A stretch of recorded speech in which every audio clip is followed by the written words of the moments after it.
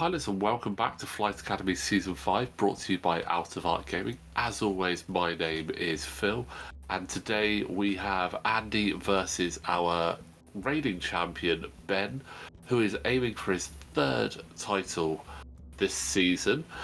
But joining me to discuss this match and the next couple of matches this week, we have. Hi guys, it's Amy. Hey Amy, welcome back. Flight Academy is in full effect. Uh, we are well over the halfway point now. Uh, these pilots are really trying to seal their top four slots. Uh, I know that you're you're a fan of Scum, right? I love Scum. You know me. They're space pirates. I, um, they've got to be loved. Absolutely. And plus, we've got two cool ships in the Razor Crest and the Rogue on there. Uh, coming up against the Rebel Scum with Magva and Luke. Uh, it's going to be to be an interesting one. This, I reckon. We've seen Andy fly Luke quite aggressively, and I'm wondering it, who his target is actually going to be. Because uh, I think to this point, I don't think we've seen Q9 actually go down. The Razor Crest is very hardy. Yeah, I think this is funny. It's probably the first time I've actually seen the Razor Crest in flight, so quite interested to see how it goes. I mean, that's not surprising. It is a cool ship. Um, Mando was very popular when he first came out because he had a very solid loadout, but now his loadout has been hit quite hard. But Q9 is a good one. Um, he has a really cool ability when he does an advanced maneuver. He can gain a strain to do a calculate or barrel roll, which, not gonna lie, is pretty good. Unfortunately, he doesn't have much in the way of blues. It's only his straights that are blues, so he's got to be careful with what he does. But that's a very fast, aggressive move from Durge there. Very straight into the middle. Yeah, those rogues they can they can get in quick, and they've got one of my favourite upgrades on there, the proton cannon as well, which is just brilliant when it comes into play. Four dice, change one to a crit, and because it's bullseye only, and the rogue has dead to rights, you can't use green tokens to evade. So good. Wondering, has he managed to get an arc here? Or even range?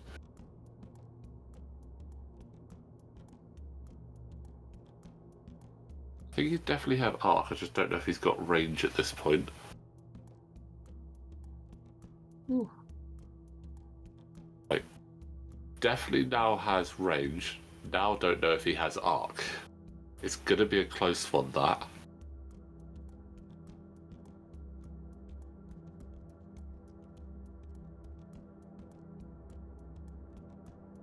I think if he has got arc, it'll definitely be on the back.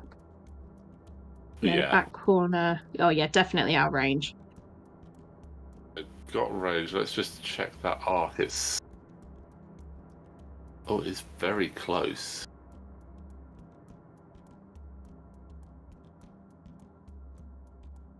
Oh, it's one of those really annoying ones where you have to get it just right to see it.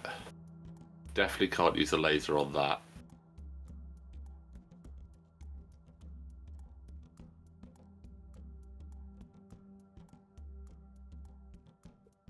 No arc in the end there. Wow. That tell you what, you could look at that a dozen times and say yes and no so many times because it, it looked like it had it, but clearly no arc there. So Magva actually quite lucky to not take some early shots in there. Unfortunate for Ben there. I think if he'd have stuck back, he would have been able to get a shot into Magva, but then he would definitely have been being shot back.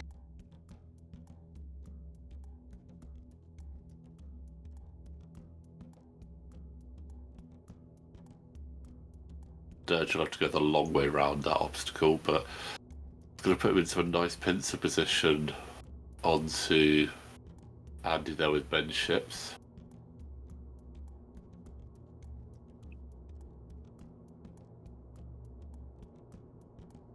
Now, if you were to join in Flight Academy, what medium base ship would be the one you would be most likely to go for, do you reckon? Oh, medium based. Uh, do you know what? I actually don't know. Tough decision. I'm still getting to used to medium based ships because I'm so used to it just being small and large. Yeah.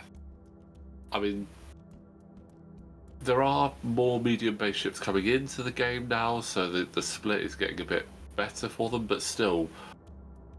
I mean, you have Empire and First Order. Do you have any scum anymore? I can't remember now. Uh, I used to uh, back in 1.0, but for 2.0, I've not really got anything. I mean, I have on TTS, just not in real life at the moment. Yeah. Um, yeah, so it's mainly just Empire and First Order. So the medium base options are very limited there. Then you've got the G for First Order, the Reaper, the Brute, and the Punisher for Empires. So Scum have a wealth of medium base ships. That's where pretty much all of them are nowadays. But Yeah. I mean, the U-wing is a be solid honest- ship. Yeah. I want to say the TIE Reaper. I was heavily considering that. Heavily considering the Reaper because I, I almost automatically decided I was going to fly Whisper this season, and I was very debate, very much debating what to go with it. I was, oh, I was so close to doing the Punisher, but having flown it in a couple of games before, it was just a little bit underwhelming, unfortunately, which is a shame because I love that ship.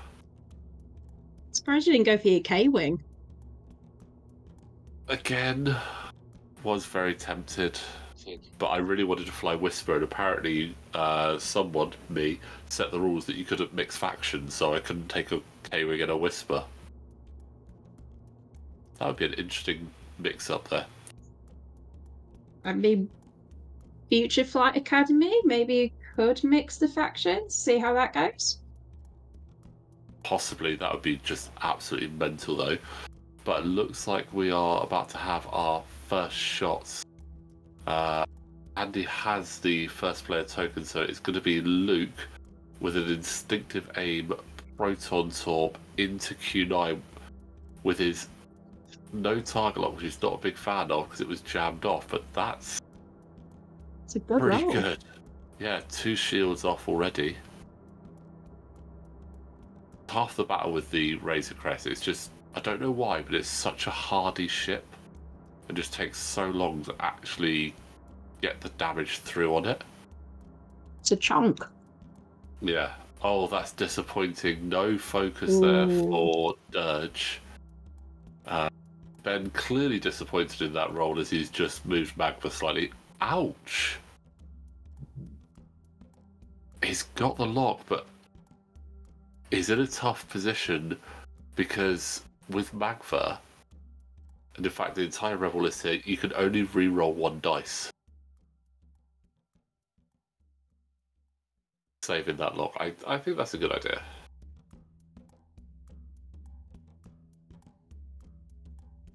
Magva has no issues with her target lock though. Oh wow. Two more damage into Q9, not quite half pointed, but that's got to be some of the most damage I've actually ever seen on a Razor Crest. There's a lot of damage. There's a very good start for Andy there.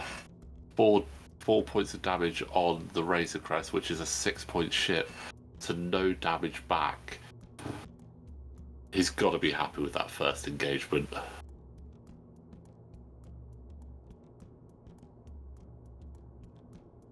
Be interested to see where he goes if he tries to block Q9 with Magva this turn, though.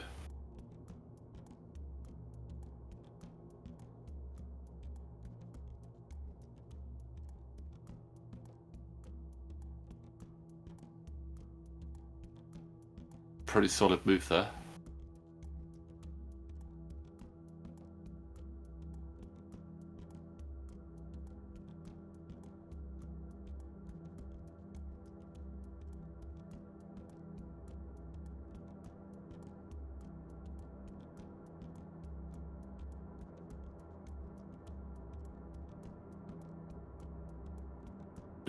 Oh, he's attempting a jam, but I think not realised that you can't quite jam like that.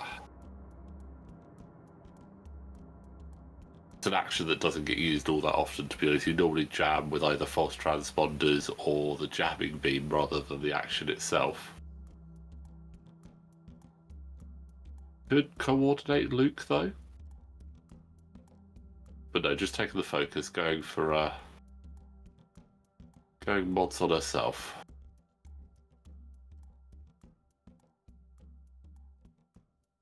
Yeah, I do know what you mean. The Reaper is would be quite a cool ship. I'd have been tempted to do the Reaper and a Striker just to have like utter craziness with the uh, ailerons. Yeah, that's what I was thinking. And I, do like a thematic list as well, especially like a good little Scarif Flight Academy list. I mean, it, it would have been great up against these U Wings and X Wings. It would have literally been like Scarif all over again. Like, yeah. Now, kind of want to just have a list with like a load of strikers and a Reaper against a couple of U Wings and X Wings as a full list now. What if they'll do a Scarif scenario? I'm sure I've done one at some point. And the guy that I was up against did a Rebels um, one with a load of um, X Wings and a couple of U Wings, and I just had like a massive swarm of the uh, TIE Strikers. It was hilarious. It was, to be honest, I absolutely loved it. He didn't Yeah. love it. He got um, annihilated by the three million striker ships that I had on the board. But And there's so maneuverable. I know the U Wings got that turnaround, but it still makes it when the, Mm. the striker can just get in so many crazy positions. It is a tough one to try and handle. I might need to actually get the striker back on the board. It's been a while since I've uh, flown them. I, I think I've got two or three. I can't, I'll have to double check. I think I've got two, but when we played this game, um, we just had the bases on the board and pretended that the models were out on the. We just decided to have an, an all-out death match basically and ignore some of the rules. Sometimes It took us literally all day, but it was fun. Yeah, I mean, obviously, the more points you add to the game, the longer it takes. I recently did a 40 point epic game and we called it after two and a half hours. it was great fun, though. Really good fun to play some epic again. I've not played Epic in such a long time. Well, this Well, looks very uh, up close and personal. Yeah, I'm thinking that Luke is doing. Yeah, Luke is doing a proton torp into Durge. It's an unfortunately low roll there, but that is double of eight. Durge, okay with that. It's a shame because he didn't have arc on Q9. I think he would have preferred to have like gone all in on Q9, but you know what? Not always possible. Durge's shots are not doing well, so. Good job he's got that focus there.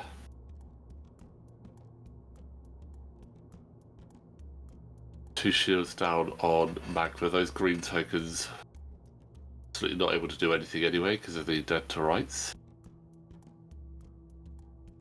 Oh, ah, poor Q9. Yikes. needs to reload his combat protocols at this point.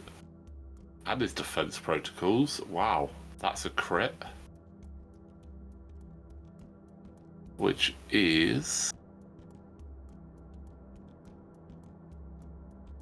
Console fire. Not looking good there, and that's a big three points that Andy has scored there, half point in Q9.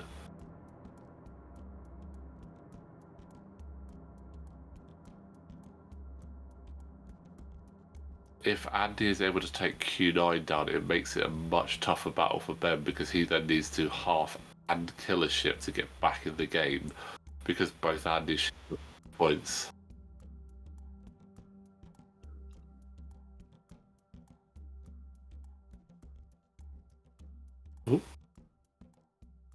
We go straight over the top. I would have expected a uh, stop and turn around there. Yeah. Oh, but there it there is the jab. yeah. You can't miss it with the size of that token. No. The oversized tokens are great. They uh they can be a bit interesting on the table sometimes when you've got lots of ships, but they just make it so clear to see. Um, one thing I will say is the crit token probably could do with being used a little bit more because sometimes people forget about putting that out, and it does mean that we uh some of the crits do get missed occasionally. I'm afraid. Obviously, it's no maliciousness on any player's part. Again, we're doing multiple games, quick games in 30 minute slots. We actually did 21 games in two four hour sessions between the seven players. So it's a lot of games very quickly. And whilst we'd like it not to happen, some things do get missed occasionally. So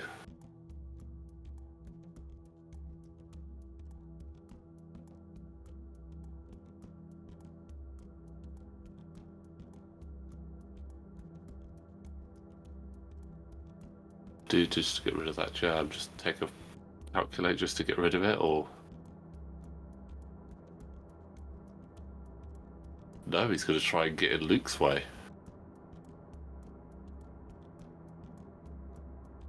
Not a bad shout. If he's not going to be attacking, may as well get in the way.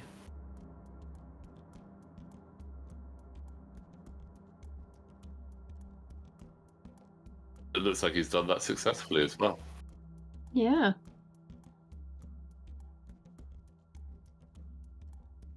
Even a one forward doesn't fit there.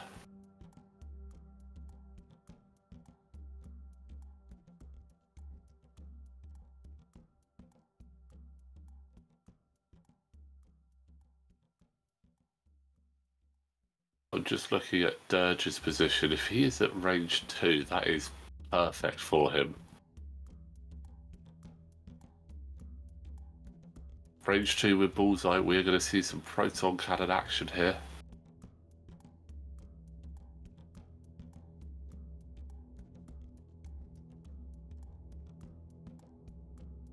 Not bad. Predator reroll. Oh, that is really Not good. bad. That's good.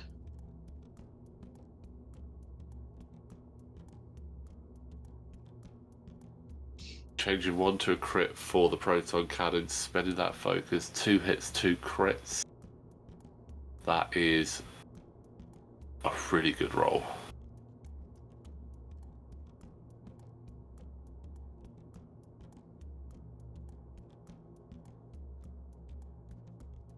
What's the crit?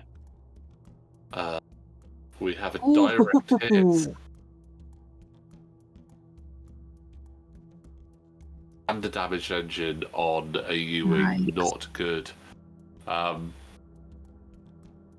and yes, aware that uh, attempted to use that calculate to evade one, but did roll that back. So that did Bitterites did trigger. Oh, Luke, that's just rude. So one more damage into Q9 there. Who needs mods when you've got the force just natively in your dice, it would appear?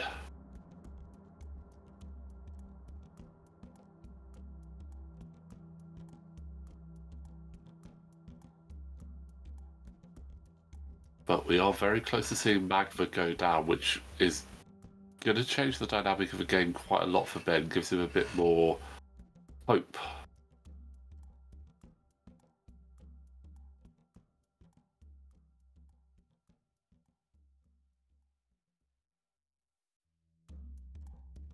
Ben's obviously got to hope to try and PS kill Magva here and get that gun off the ball because it's going to make things easier trying to take Luke down as well if they get target logs.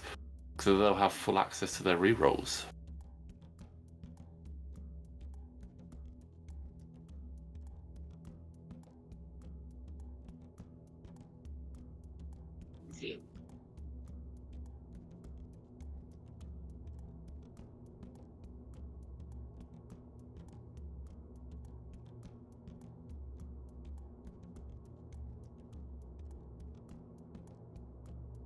Game we saw Ben throw caution to the wind and trigger contraband cybernetics to do the talon roll with Q9. So I'm wondering if we're going to see that again now. Really stack up those red tokens, but also at the same time see if he can get. Oh, that's good. That's good. That's range one bullseye, so that's predator.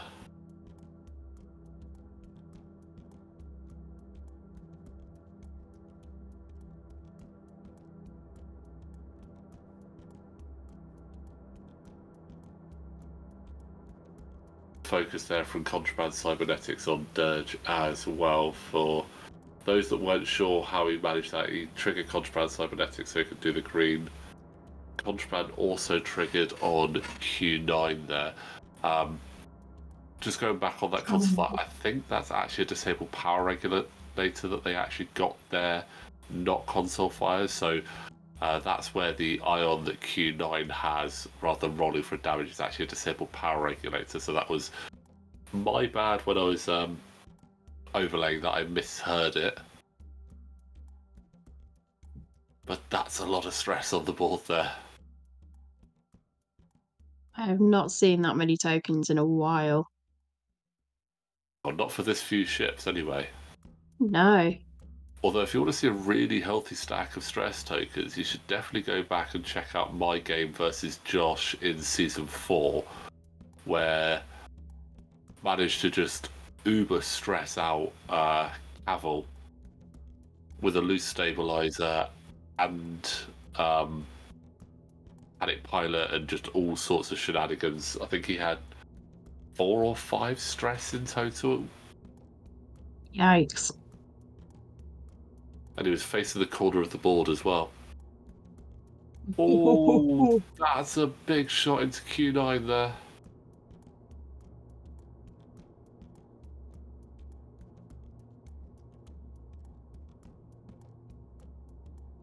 Spend the evade while he got it. So just the crit, two health left on Q9, and that crit is a console fire this time.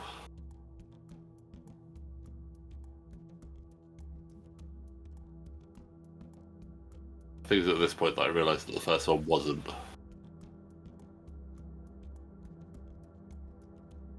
Oh, Ben just can't buy good dice this time. The dice gods are not with him. No. His positioning has been great. It's just his dice have really let him down this game. It's like, and that was that was the range one from Durge as well.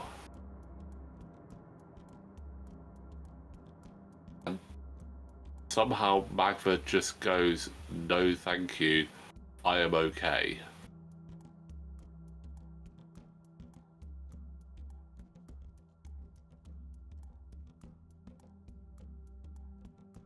I think rolling back to use the target lock and the force to get the two hits.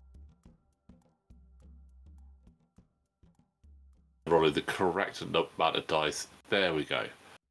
Parity is restored somewhat. That is Magva down. Ben has taken the lead now. But it's going to be if Luke can get a really good shot in onto Ben, who has to do an ion maneuver.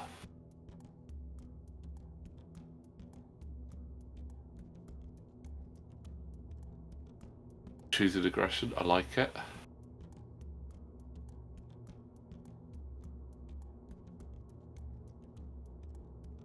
Just getting right in the way there, either have a range zero at me or fly past.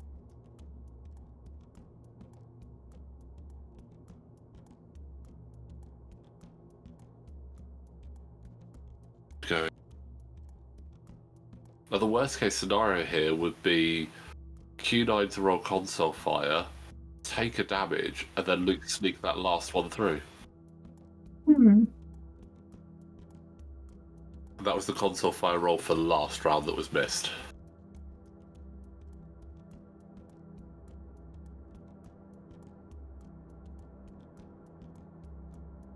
What has Luke done? He is going to get that range zero.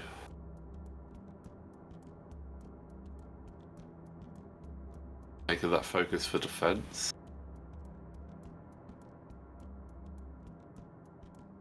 I think it's safer than just relying on the force there.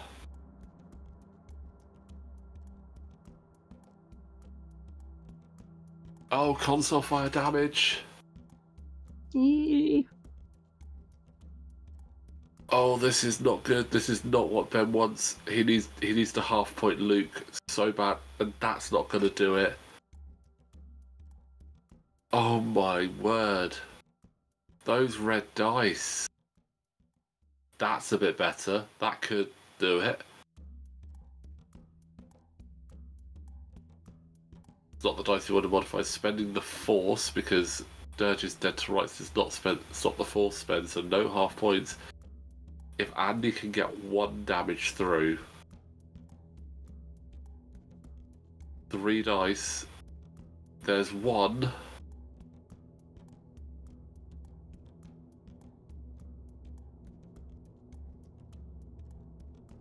It's a blank. Q9 is down. Ooh. Wow. That I mean, it looked like Andy was about to run away with it with the damage he put on Q9 early, but then taking Magva out, I thought he got himself into a nice position to stop Luke from getting it, but the force really was with Andy that game, and it just paid off. Ben's dice were brutal in response to all of that good maneuvering and everything that he did there, his dice just decided, nope, not today, unfortunately. But that was absolutely crazy. But a nice solid win there for Andy. So we'll have a quick look and see how that jostles up the table a little bit there. So Andy has scored himself a couple more points, getting himself up into fourth place there ahead of Josh. He is on the same amount of points as Wes. Ben is still right up there at the top, getting another point for a ship kill. So he might not got the win, but he got a ship kill in there to get something out of that. But Amy, I do hope that you enjoyed that game. No, it was good fun. Thank you very much. No worries. And guys, like I said, we have plenty more action, so please don't forget to like this video, subscribe to the channel, and we will see you next time.